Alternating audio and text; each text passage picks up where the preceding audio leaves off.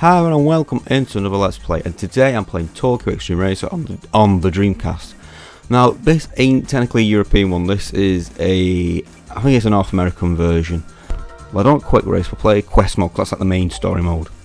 Select my car with CP, what's CP? Why have to put C off a credit? What's it CP? Right, so we've got these cars are basically uh, representing cars of free life, that's a Toyota Corolla from the 80s. I think it's a Corolla, not a Toyota. So we've got that. The same one with pop-up headlights. Go across. Another Toyota. Yeah, another Toyota. And goes to Lexus. And it's just pretty much all Japanese cars because it is basically a Japanese game. Uh, so let's. I don't know what to get. Oh, hang on, now this is Game 2 I know. Yeah, that's a Skyline, so that's double what I've got. Well, the money I've got to play with anyway. So what I might do is I'll get the cheapest one and then we'll just uh, tune the hell out of it. Pop-up headlights, because look nice, pop-up headlights. Right, black, so white, black, red. Oh, there's only them. I think you can customise your colours. That's not red, that's pink, isn't it? Like a salmon pink. That's not red. I think white looks better for it. Uh, so, right, so the change I got, we'll go to tuning and we'll just see uh, bypass, change part. Oh, settings. Um, steering speed.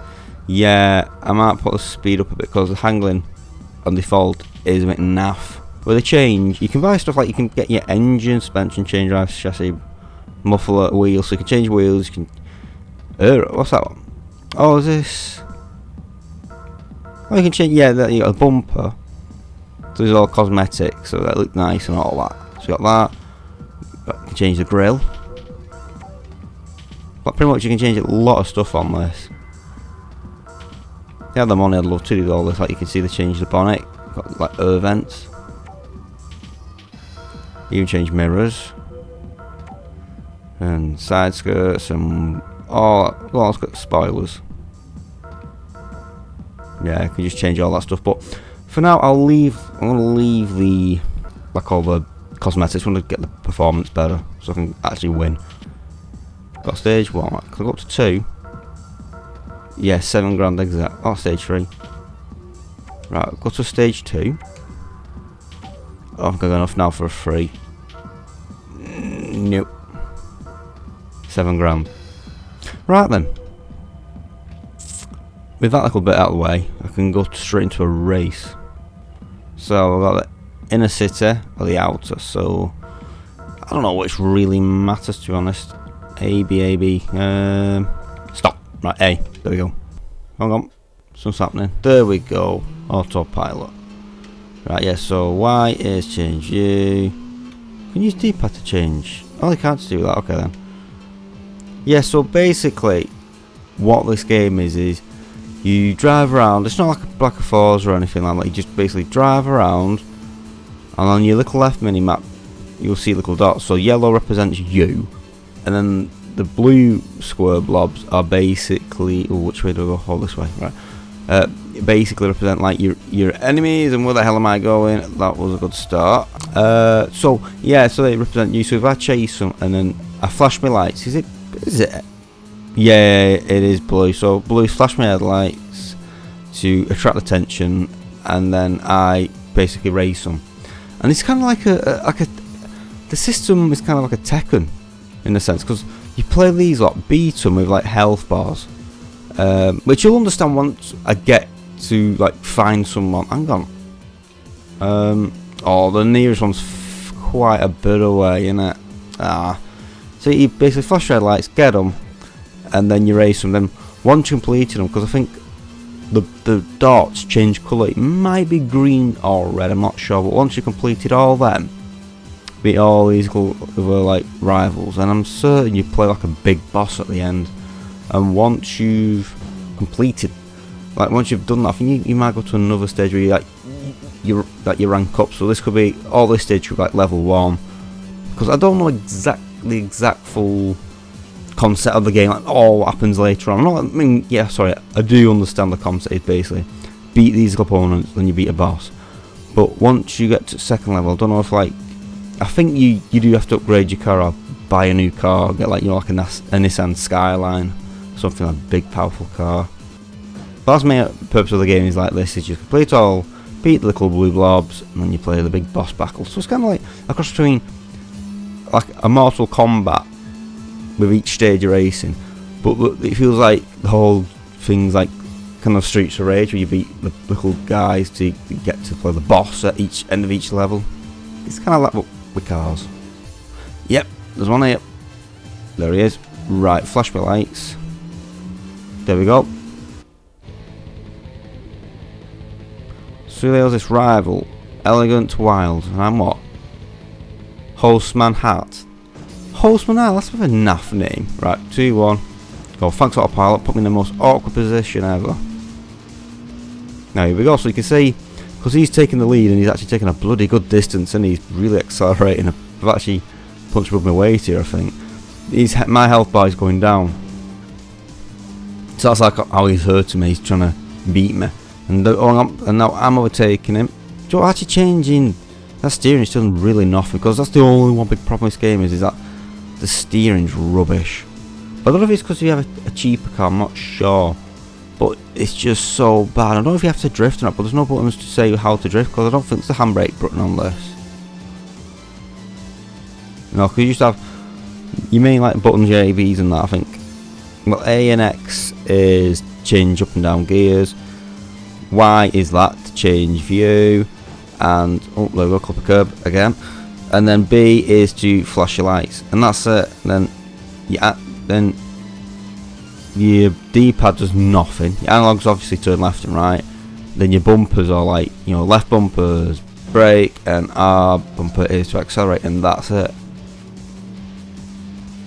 So it's just a bit dodgy uh, setup with no handbrake. Because I thought that's why the steering's crap because they're trying to encourage you to drift, but no, it's just the system itself.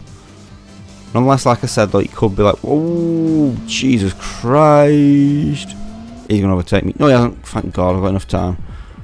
Yeah, keep racing. We'll do another one. What's another car here? Ooh, I might punch above my 80 because this is quite a big bloody car, this. It's like a big uh, Lexus car, isn't it? That big luxury car. Yeah, what I was gonna say was I don't know if I if I, if I said like if I, let's say for example I, I beat this car, so it's like right I've done two cars and I won't go off and upgrade my car. I don't know if I can go off this mode, set up a car, come back onto this. I'm not sure if it would reset the default. Like say there was eight people, like there's eight players on this track, well eight enemies on this track. Completed two, and then I go off. Would it reset and go back to you know? Oh, hang on. Please don't say it's turned off. Oh, thank God. I thought going to turn then, but because like as well, you, you can see on the map you can go different slightly different directions. It's not really that open world, but it's nice to got that option, I suppose. But it's good though if you're in the lead.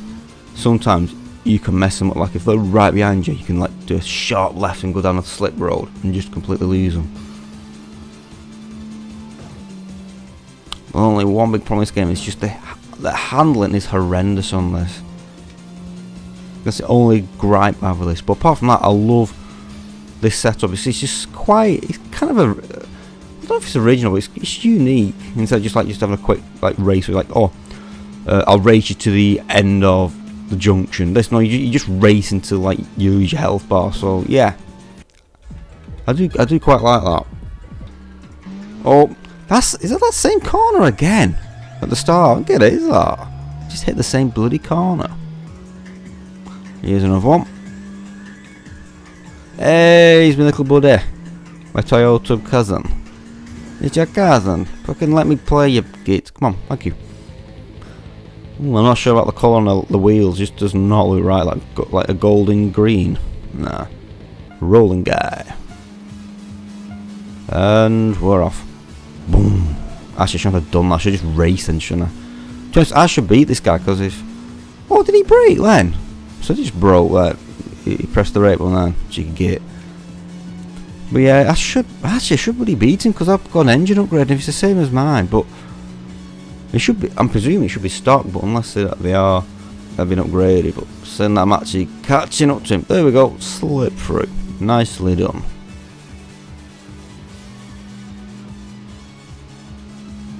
I'm actually picking up a bit of speed here. 200 what? Oh, 223 for a little hatchback, sporty hatchback.